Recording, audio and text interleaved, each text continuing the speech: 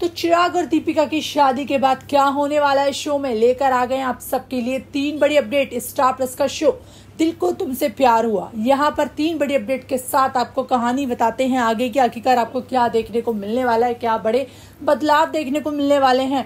Current track आप देख रहे हैं, यहाँ पे दीपिका चिराग ने शादी कर ली है। दोनों ने मित्तल हाउस में एंट्री कर दी है, जिसके बाद में लावण्या के पूरे होश आवाज़ खो बैठे हैं। पूरी तरह पैरों तले से ज़मीन खिसक चुकी है। तो अब आपको बता दें, पहली बड़ी अपडेट के साथ यहाँ पे दीपिका चिराग को अपना नहीं रही है। यहाँ पे वो दीपिका को बहू नहीं मान रही है। पहली अपडेट जो है तो यहाँ पर दीपिका चिराग को मित्तल हाउस से बाहर कर दिया। उससे सारे रिश्ते तोड़ दिए हैं।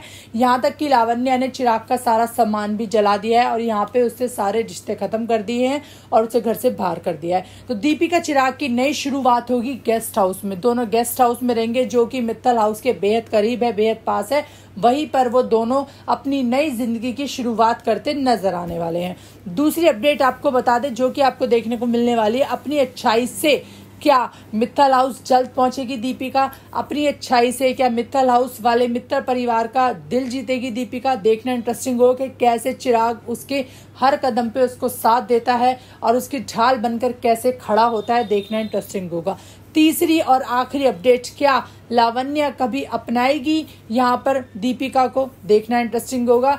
क्या दीपिका अपनी अच्छाई से लावण्य के दिल में अपनी जगह बना पाएगी? क्योंकि लावण्य को ये लगता है कि जिनका सांवला रंग है, जिनका काला रंग है, वो लोग जो है क्रिमिनल है, वो लोग ऐसे होते हैं क्योंकि उसके मम्मी पापा को जिसने मारा था, उसका रंग काला था, उसका रंग सांवला था तो जिसकी वजह से वो काले रंग से बेहद ही नफरत करती है। तो ये तीन बड़ी अपडेट के साथ कहानी आपको आगे देखने को मिलेगी। देखना इंटरेस्टिंग होगा कि आखिरकार शो की टीआरपी में क्या रंग आता है? शो की टीआरपी क्या आसमान छू पाएगी? देखना बेहद इंटरेस्टिंग होगा।